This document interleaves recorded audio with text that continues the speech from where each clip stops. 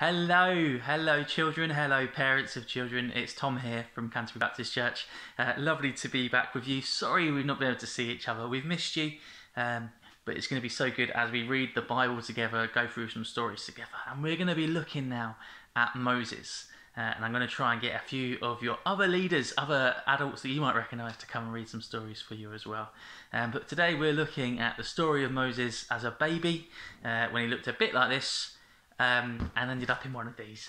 Um, so if you get yourself comfortable, uh, and I'll read you a nice story um, at whatever time of the day it is that you're watching this, okay? So let's settle down, shall we? The story of Moses from Exodus, Exodus 2. A new baby boy! How happy his mother Jochebed and father Amram would have been, but for the latest law of the cruel Egyptian king. Every newborn Israelite boy was, be, was to be thrown into the river Nile. Jochebed looked at her beautiful baby. He must not be drowned, she said. I shall hide him.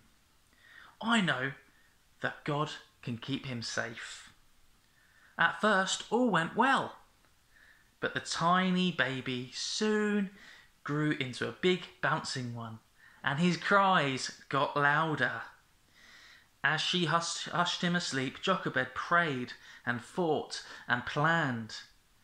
Then she began making a cradle from the river reeds, just like the fishermen made for their boats. When it was finished, and it looked a little bit like this, when it was finished, she smeared the outside with tar to keep it waterproof. While the baby slept, she put him gently into the cradle and carried him to the water's edge, taking little sister Miriam with her. She placed the mark basket along the tall reeds and leaving Miriam to keep watch, sped quickly home. Still as a mouse, Miriam crouched into her hiding place and waited. Soon she heard chatter and laughter. The princess, one of the many daughters of the Egyptian king, was coming to bathe, attended by her slaves. As Miriam watched her heart beating so fast, the princess stopped. Look, she said, there's a basket in the reeds. Fetch it. Her slave waded in, picked up the basket, and handed it to the princess. At that, the baby woke up, gave one look at the unknown face, and burst into tears. I'm getting very familiar with that sound. Poor little thing, said the princess gently. He must be an Israelite baby. Her kind look gave Miriam courage. She stepped bravely forward. Would you like a nurse for the baby? she asked. Yes, said the princess. And Miriam hurried home and fetched, you guess who? She fetched her mother.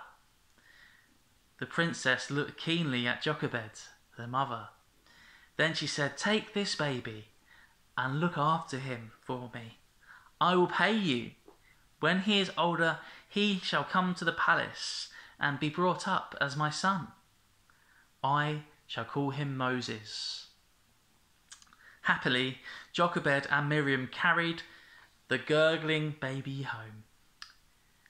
They need not worry who saw him now. God had kept Moses safe. For a few more years, he was theirs to keep and care for. And that is the story of Moses as a baby and how he was saved by his mother, his sister, uh, and the Egyptian king's daughter, the princess, as well. And Moses would go on to do great things, and we'll learn about those in the next few weeks. Um, but it's great, isn't it, that God provided and looked after him. So that's just a little story for you. Now, if you want to do something as a family to remember this story, um, I have started to make one of these, and what it is is making your own little basket. And all you need is you need a mummy or daddy just to cut some slits in some card or some paper for you. Cut out some of these strips of paper and like like she did to protect Moses, you can do your own bit of weaving, um, so that you have this lovely piece of um, a basket which you can then put your baby in. And as you can see, it's really simple. If I can do it, you can do it with your mummy and daddy, I'm sure. And um, and then what you can do once it's done and all sealed and all beautiful, get one of your dolls or your teddy bears, and you too um, can practice putting them on this this reed uh, and getting them out there in the open as well, um, like this. You see. There we go. Um, so that's something else you can do as well. Just a little activity, just a reminder um, of how Moses was protected by God in Exodus 2. But it's a great story. Okay, have a great week, everybody. Um, lovely chatting to you. Thank you for watching. Um, and God bless. Bye bye.